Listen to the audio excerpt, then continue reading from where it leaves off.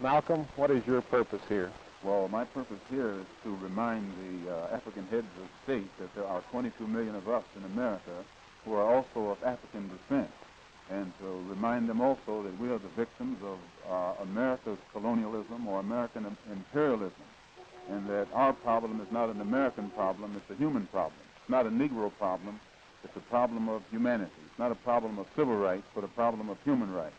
And what do you hope for from this conference? Well, we hope to uh, bring pressure upon them, or rather we hope to impress upon them the importance of their bringing pressure and world opinion upon the United States take some meaningful effort to solve our problem in America. We want them to help us get our problem before the United Nations and charge America with violating our human rights in the same way that South Africa is charged with violating the human rights of our people in that area.